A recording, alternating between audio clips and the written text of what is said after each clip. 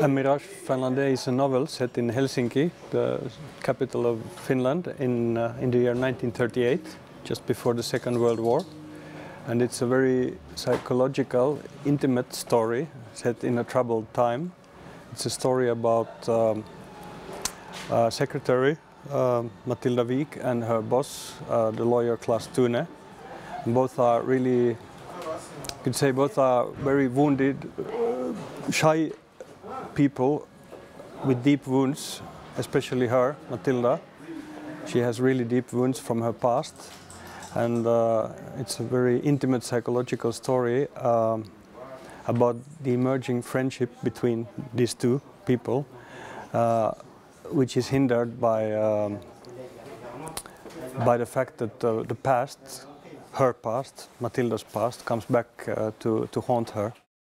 Well, I think uh, I have it deep in me to to uh, to describe the terms and conditions uh, on which people from different social classes in society meet, and uh, the questions I very often ask in my novels and short stories are: Can can people from very different backgrounds can they become deep friends? Can they even fall in love? If so, would be or are the differences in our backgrounds uh, hindering us, stopping us from uh, from understanding each other? And this I have very deep in me because I myself come from a mixed background, part bourgeoisie and part my father was very poor when he was a kid.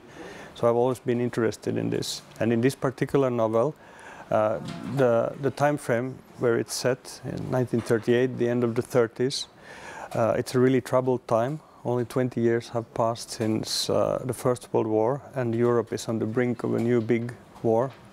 Uh, and it's also a very, um, it's also a time, uh, at least in Helsinki and in Finland, uh, with really, really big social divides.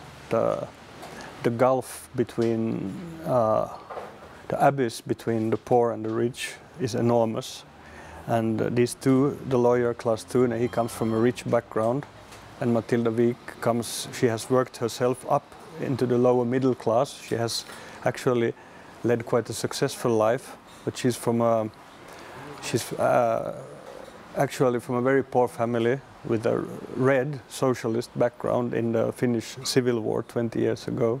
So there are very slight chances that these two could meet and become friends, but still they feel this uh, sympathy towards each other. They are trying to understand uh, and trying to become friends. I am a psychological realist, uh, and I've always been. I'm a realist as a writer, and psychology uh, has, for different reasons, been always been really, really important to me. Uh, the female portraits in my novels have become stronger and stronger, and I agree. Uh, I myself think that Matilda Wiik is, is the strongest female character I've written so far. The wars uh, in, that Finland has been involved in as a backdrop for my more historical novels, it, it's more about the fact, uh, it's mostly about the fact that Finland had such a troubled uh, period uh, in the beginning and around before the middle of the 20th century. I mean, between 1918 and 1945, Finland was involved in four wars. There was the civil war uh, between the socialists and the bourgeoisie in 1918. Uh, there were two wars against uh, the Soviet Union uh, during the Second World War. And then there's a very little known war where the Finnish army had to chase the German army out of northern Finland, out of Lapland in 1945.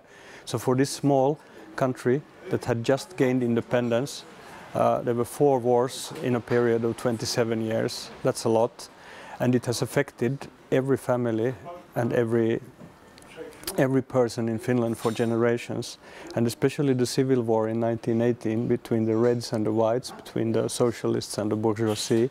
It's been kind of a, I mean, of course we teach our children about it in Finnish schools, but it's been it's been a kind of a taboo for almost 100 years because cruel things happened and it's not easy for anyone. And this has nothing to do with, with whether you were on the bourgeoisie side or the socialist red side of the war. uh, no matter what your background is, it's not easy to accept the fact that your grandfather or grand grandfather was a killer, and this is this is how it was. So it's been a really sore point in Finnish history, and in this book, it's 1938. Uh, there's there's a threat of a new world war, but only 20 years have passed since the last war in Finland, since the civil war, and um, my opinion now as a middle-aged person is that 20 years is nothing. I mean, today it is 2016, and if, if, if I think back, uh, on, reflect on the year 1996, it's yesterday. So it's clearly, it's clear that people carry the wounds from from the war 20 years ago and try to conceal them, hide them, and try to go on with their lives. But all the pain is there, and at the same time, there's the fear of what the future will bring. So this is this is why I chose to place uh, the novel in 1938 because uh, because um, it's it's it's a time when when people have to accept that they are on the brink of a new war and they haven't been able to forget the old one.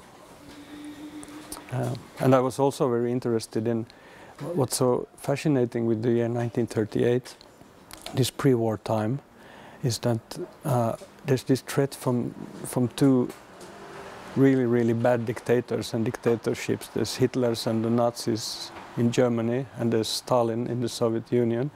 But at the same time, in, in large parts of Europe, 1938 is an, it's an economically good year. People have more money than before. People try to escape the threats of the time by going dancing, by listening to, to the popular music of that time. It was a golden era for movies with big, big movie stars. And people went to the movies like never before. So there's this escapism. When we are living in threatening times, people try to escape to light entertainment. Look at our time. We are surrounded by threats, but people uh, like to watch reality TV shows and, and really, really light entertainment. This is, this is what it is being a human being. So I was interested in the parallels between, between the late 30s and, and our times also.